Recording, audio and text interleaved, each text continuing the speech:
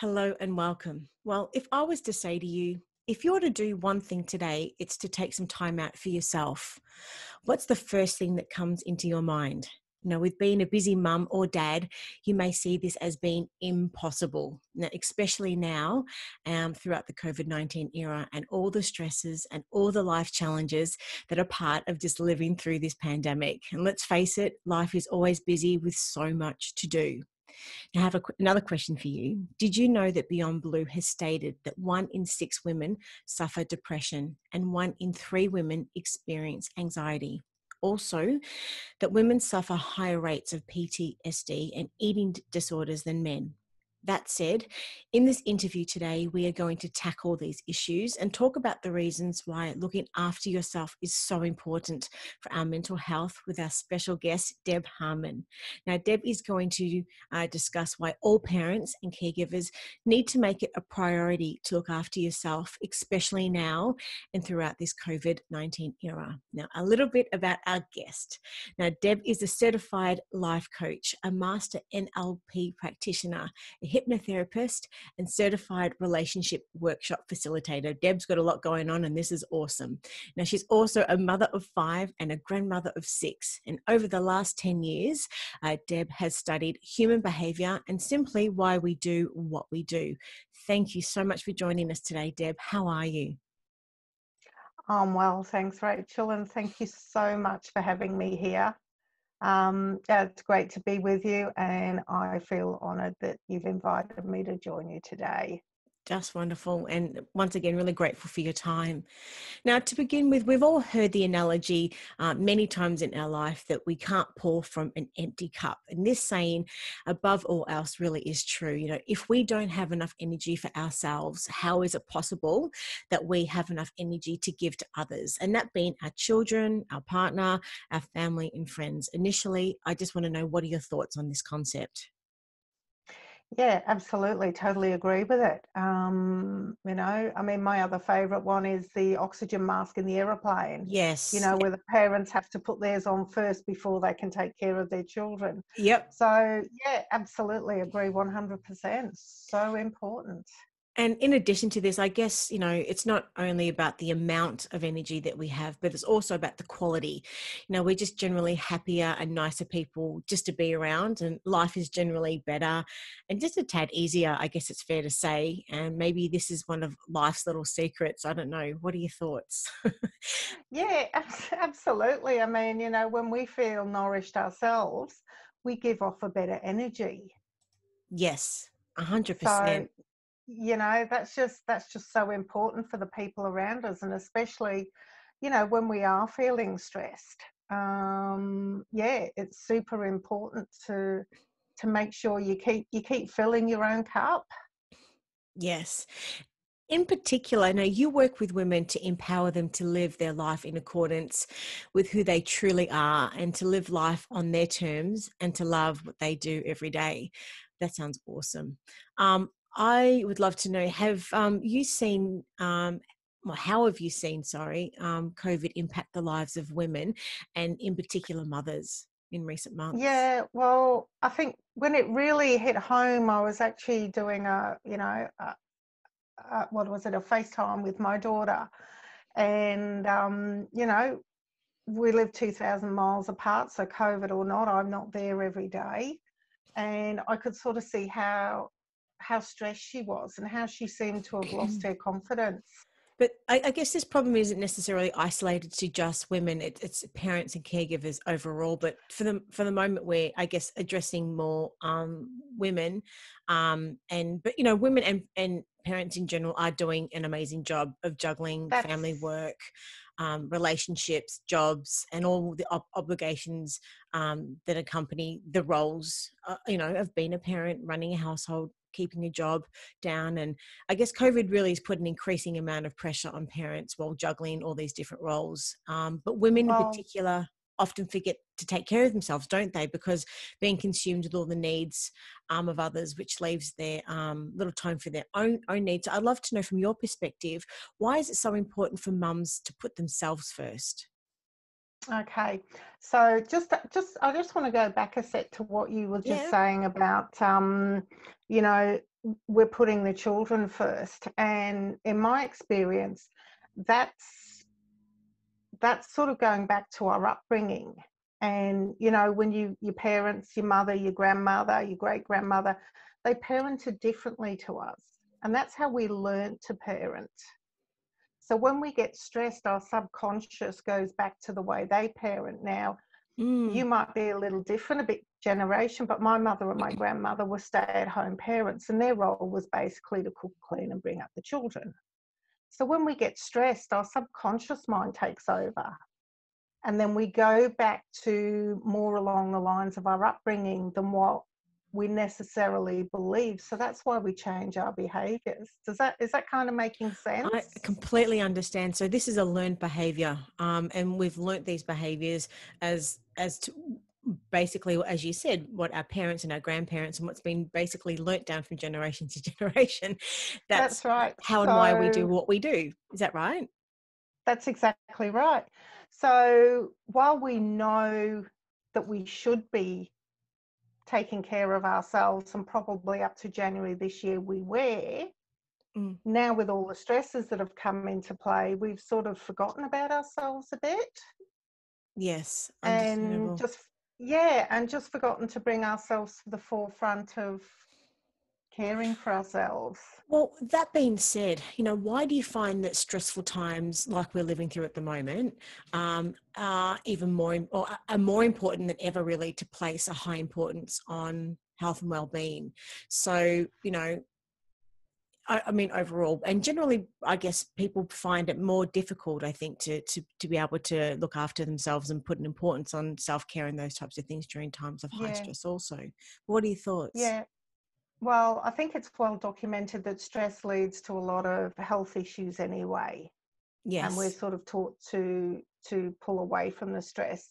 So I think now more than ever, it's really, really important to find strategies to to make that time for yourself. And it really is about strategizing and um, even planning your day and working out where you fit into your day and what your priorities for you are. Mm-hmm. And that's, and as you said, that's for men and women as well. Yeah. And, you know, in a family, it, it needs to be a shared thing where both parents give each other time out so that, yeah, they've got what, you know, they've got what they need. And would you say thinking like this is um, not being selfish, rather being selfless? And I guess the more we have for ourselves, talking about energy, the more that we do have to give to others, as we were just saying before. Yeah, that's right. It's it's certainly not a selfish act. It's yeah. um yeah. I think it can it can it come it encompasses caring for the family as a unit as a whole. Yeah, uh, overall, um, just getting back to mental health for a moment, you know, what are the mm-hmm. implications mm-hmm. for our mental health if we don't take time out for ourselves? If we don't look after ourselves in the first instance, then my concern is we are going to sort of start going on that downward spiral mm-hmm. into mental health issues. And this is, you know, obviously the isolation, the lack of connectedness at the moment that we have. Yes. Um, and that's so important that we really need to try and find a way to remain connected as society is just generally being pulled apart, if you like. Yes. Um, because it's that connectedness that really supports our mental health. I wanted to address something that you mentioned before also um, about the majority of our behaviors are learned early in life by the adults really that nurtured us. Um, and I mm-hmm. guess um, I wanted to explore this concept a little bit more if I could. And look, I, I really believe it is confronting to realize that the bulk of what we do say, think, feel really is as a result of what we learned um, from our parents in our childhood. Um, and this can pass down behavioral traits um, from gen- generation to generation. Of course, this can be a good experience and also can be bad. Um, but, you know, we've uh-huh. all heard the saying a million times, you're just like your father or you're just like your mother and those types of things as well. So, you know, I guess if someone is wanting to break a pattern um, and they do not want to pass down, let's say, in particular a negative behavioral pattern to their children. Yeah. Um, in your opinion, how can they start to make that change? Um, okay, so the first thing is right because when we have these negative patterns, we tend to try to deny them. Of course. So the first thing is to accept them. Accept that they're real. Yep. Accept that it happened. And then once you've accepted it, maybe you need to forgive for it, depending, you know, depending on what it was. And then when you've gone through that sort of process, then you can begin to move on and move away from it and, and you know, break break free.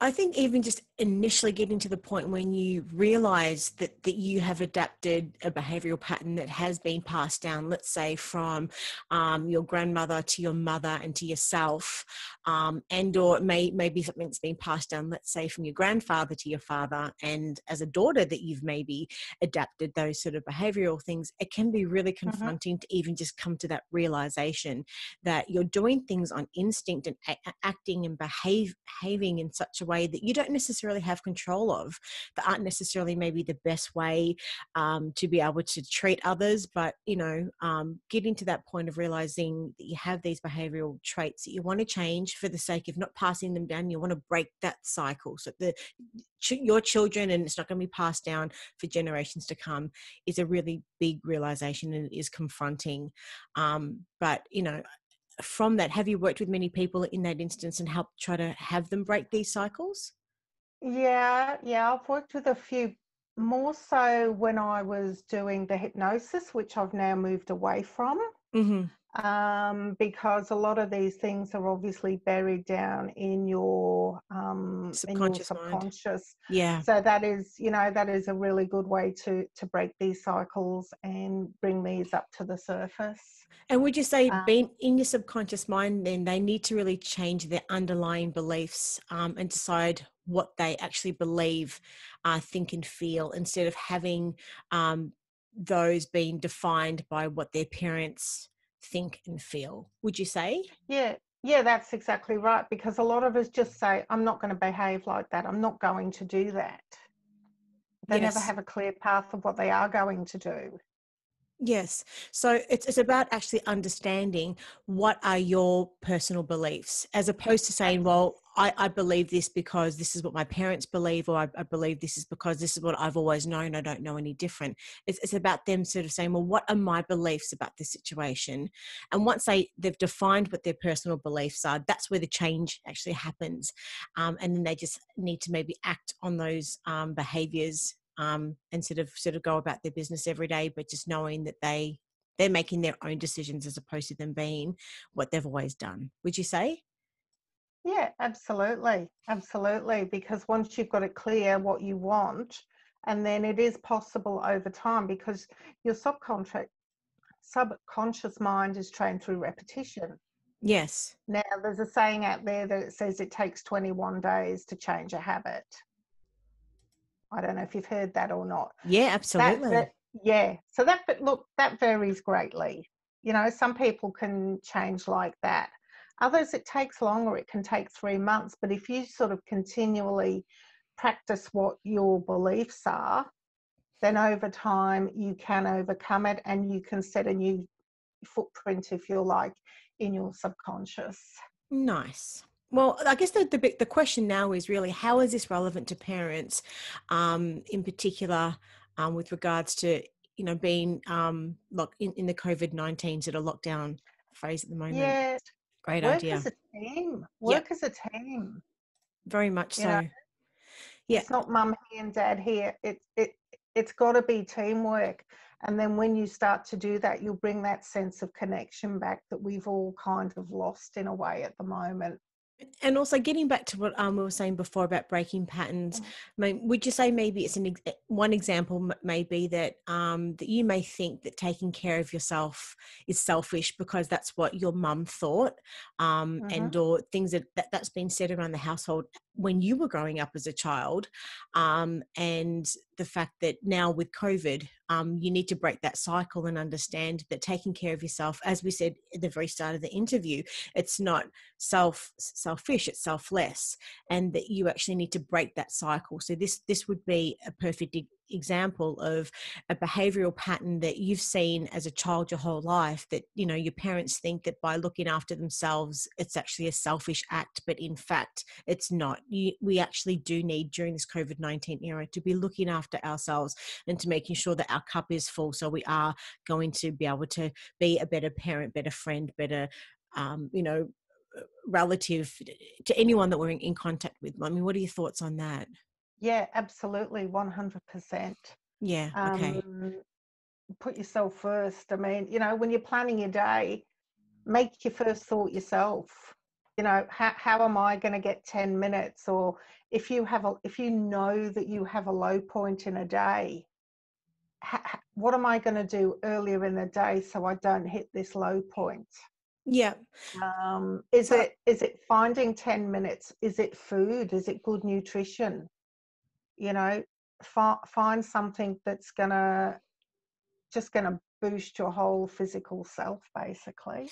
And it's funny i mean self-care a lot of the time we do think of you know normal sort of it's a very cliche thing isn't it in the media about looking after ourselves and it's about a massage and a facial all these these things. But self-care isn't necessarily that. It may just be whatever gives you energy as you just said um, and finding that um, and then finding the point in the day when you can ensure that you have, even if it's just that 10 minutes a day, if it means that maybe you just have your coffee by yourself in the morning or what have you. I mean, how else, from your perspective, do you think parents can take uh, care of themselves and, and what advice do you have?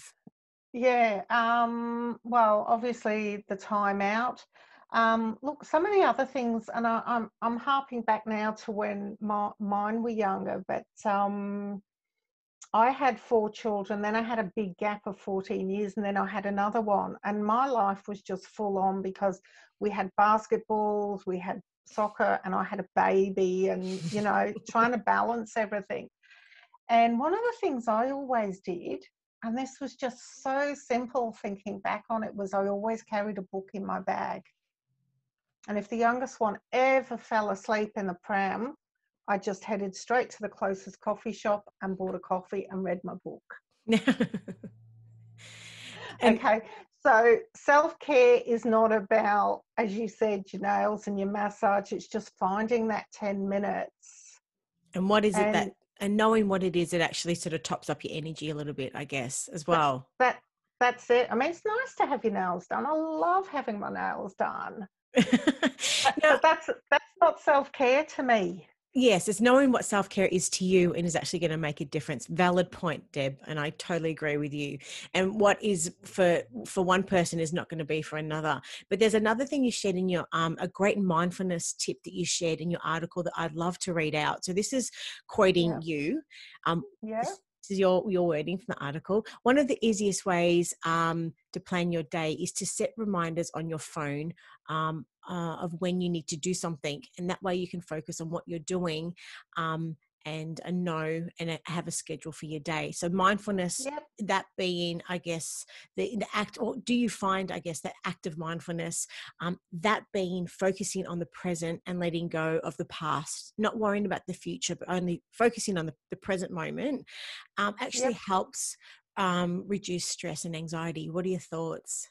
Yeah, look, absolutely, it does. I've actually got a thing where I keep my diary down the side of my computer now and then I know exactly what time I'm doing what. So I know when I've got to speak to Rachael. I know when I've got to go to Pilates. I know what when I'm walking the dog. But if it's if it's scheduled, then you know you've got time for anything. And I mean, parents and especially those now with the children home for remote learning again, schedule a children's day. Yes. Okay so between nine and 10 o'clock, you've got that schoolwork. Between 11 and 12, you play outside. But between 2.30 and 3 o'clock, depending on their ages, you've got quiet reading. So the, so the key the key is to scheduling. We each have the same amount of time in our day each day just know That's at what point right. and almost, almost like a routine. So it doesn't matter if what state you're in but e- either way if you are in full lockdown or if you're sort of easing out of restrictions let's say in another state the better we yep. have our day structured um, i guess the better that we can actually ensure that we are making time. That way we have no excuses. We can always find the time to be able to have have self-care. What are your thoughts? That yeah, yeah, absolutely. Absolutely, 100%. And if, you know, most children as well love routine. So if you've got that daily schedule, they know what's coming and they know when their quiet time is. And that's mum's quiet time. You can you can be in the same room together and have quiet time. Yes. And and we, we do know? find in speaking to a lot of psychologists, they do say this helps reduce the children's anxiety also because they know how how and what is planned at what time as well. So yeah. And that's right. And it's not it isn't just parents, it's children going through anxiety as well. Hundred percent. Yes. They're bouncing off us. Yes. So yeah, absolutely. Make a plan for your day. Schedule it and then everybody knows what everybody's doing and you know don't switch on the commercial television. Yes. Yeah yeah yeah. You know if you're going to have a movie have a movie. Don't don't put commercial television on that's going to be interrupted with um in news bulletins or whatever. I don't know. I haven't watched commercial television for probably 10 years but you know Well, you know, Deb, we've spoken about some really fun stuff today um, and, and important topics as well. Um, if you were to summarize your key messages, what would they be?